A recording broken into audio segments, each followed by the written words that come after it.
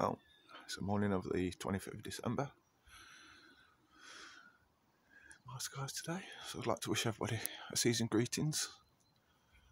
Um, just remember what this day is about. It's about families. It should be like that every day at the end of the day, but you know, that's my take on it. Yeah, so I just thought I'd wish everybody season greetings. Hope you had a wonderful day.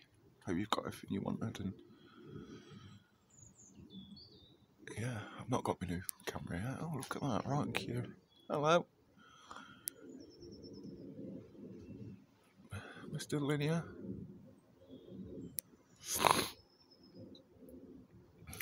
Yeah. So enjoy your day, everyone. Uh, yeah, I've just been busy with work, not been 100% well. I think it's the cold weather. Got over my cold, flu, whatever it was. Still got a bit of shizzles. But yeah, that's what I'd say. Season greetings, everyone. Have a wonderful day. Spread the love, spread the peace, spread the unity. Look after each other 2023 I think it's going to be a right shitstorm.